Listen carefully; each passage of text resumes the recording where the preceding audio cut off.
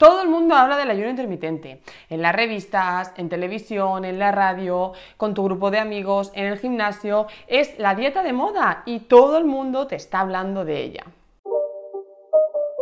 Antes de explicarte en qué consiste, quiero explicarte por qué está tan de moda.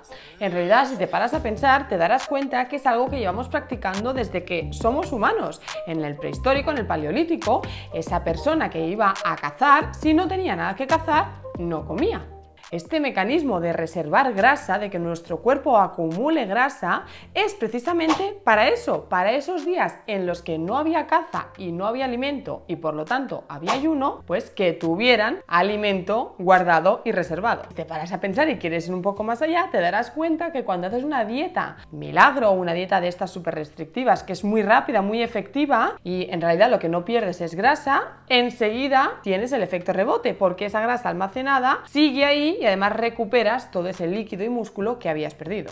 ¿Esto significa entonces que el ayuno no es bueno? Espera, espera, porque si lo paras a pensar también, cuando estamos enfermos o nos encontramos mal, el propio cuerpo rechaza el alimento, no nos apetece comer y hacemos ayunos porque simplemente no nos encontramos bien y la comida nos crea rechazo y puede que estemos hasta 24 horas en ayuno. Entonces, de forma instintiva y natural, también practicamos ayunos. Entonces, si es bueno, vamos a ver qué es, porque claro, una cosa es lo que se hacía en la prehistoria, otra cosa es la que hacemos cuando estamos malos y otra cosa es el ayuno intermitente como estrategia dietética. Hay muchos tipos de ayuno. Además conoceréis el ayuno intermitente como fasting, método 5-2, método 16-8. A mí no me habla así, ¿eh? Tú me hablas más sencillo.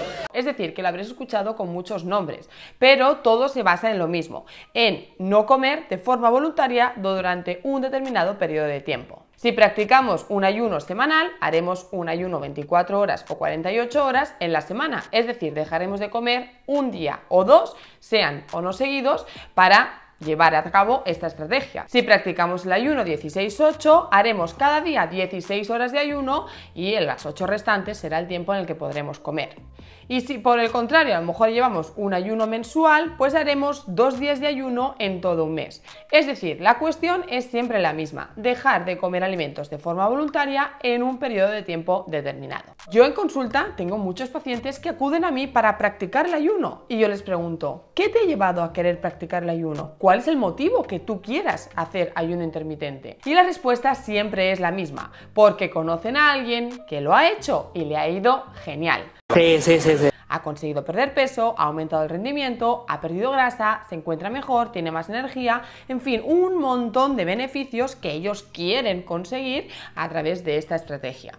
¿Y qué dice la ciencia? ¿Qué dicen los papers, los metaanálisis, las revisiones sistemáticas? ¿Qué dicen de todo esto que las personas aseguran que encuentran tras practicar el ayuno? Pues lo cierto es que no lo corroboran en absoluto. Todo lo contrario, nos denumeran un montón de consecuencias, como pueden ser carencias nutricionales, deficiencias de vitaminas y minerales, falta de energía, desmayos, incluso mal aliento.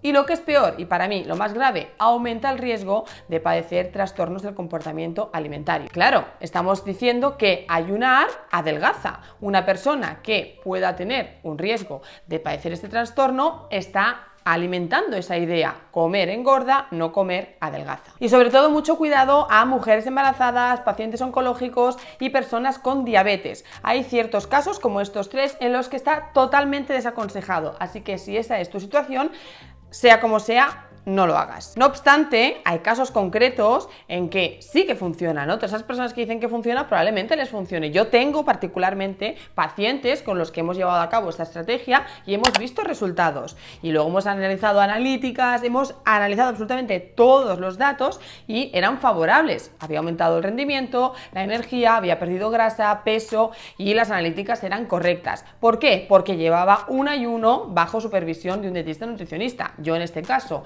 estaba controlado, no hacía ninguna carencia de ningún alimento, todo estaba milimetrado y seguía la pauta. Por eso no hubo carencias y todo fue como tenía que ir. Así que como ves, no es cuestión de decir, ah, venga, pues me voy a poner a hacer ayunos intermitentes y de repente dejo de cenar un día, o otro día, pues no sé, me invento y lo hago y no lo hago, eh, de repente estoy un mes sin comer más que dos veces al día o una vez al día lo que me apetece. No, esto no va así, ¿de acuerdo? Si queréis hacer ayuno intermitente, pues tenéis que poneros bajo supervisión de un dietista nutricionista, asesoraros y que se asegure que vais a aportar a vuestro organismo toda la energía, nutrientes y vitaminas y minerales que necesitáis. Que no juguéis a vamos a hacer el ayuno porque esto no es un juego, estáis jugando con vuestra salud, ¿vale? Así que siempre, siempre, cualquier tipo de dieta, cualquier tipo, cualquier tipo de estrategia dietética bajo supervisión de un dietista nutricionista. A ver, claro está que si tu dieta es desastrosa, desayunas bollería, comes cualquier comida precocinada y ultracongelada, cenas una pizza o cualquier tipo de fast food, pues evidentemente te va a funcionar muchísimo el ayuno. Es más, te animo directamente, sin conocerte, a que lo practiques porque vas a ganar seguro. Ahora bien, si hablamos de una persona que se cuida, que come sano, que vigila su alimentación y de repente se pone a ayunar sin sentido, ahí sí que no. En resumen y concluyendo, si quieres practicarlo y crees que vas a poder practicarlo, porque esa es otra, tú tienes que ser consciente de que ayunar implica no comer. Y si eres una persona como yo, que come cada dos horas y que siente hambre de forma recurrente, no va a ayudarte, porque entonces lo único que vas a conseguir es generar más ansiedad y más apetito y más ganas de comer ciertas cosas y cada vez las cosas que te apetezcan serán más insanas y al final será una bola que acabará en un desastre. Así que, si lo tienes claro, crees que puedes hacerlo y quieres hacerlo porque confías y crees en este método, acude a un dietista nutricionista que te ayude a hacer esta estrategia y a plantearla de forma adecuada. Si estás embarazada, padeces diabetes o estás en tratamiento oncológico, olvídate del ayuno intermitente, ni te lo plantees. Y si conoces a alguien que pueda tener un riesgo de padecer un trastorno del comportamiento alimentario, tú lo has sufrido años atrás o algún familiar ves que está interesándose por esta temática y también pues tiene ese riesgo, pide ayuda, diles que se asesoren bien porque, como he dicho antes, este tipo de estrategia alimenta esa idea y aumenta el riesgo de padecer este tipo de trastornos. Espero que este vídeo te haya servido para aclarar las ideas y conocer los beneficios e inconvenientes de este tipo de estrategia nutricional.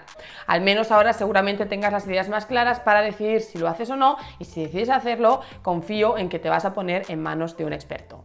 En cualquier caso, yo estoy en comiendoconmaria.com, ahí tienes la consulta online y los cursos donde puedes encontrarme además del blog, los podcasts y los diferentes medios a los cuales me refiero para explicarte todas estas cosas. En cualquier caso, aquí está mi beso un beso muy fuerte para todos vosotros y nada, recuerda suscribirte, darle a la campanita, like, me gusta y en fin, compártelo, que para eso estoy aquí, para llegar al máximo de gente posible. Un beso fuerte otra vez y hasta el próximo vídeo, nada más. Adiós.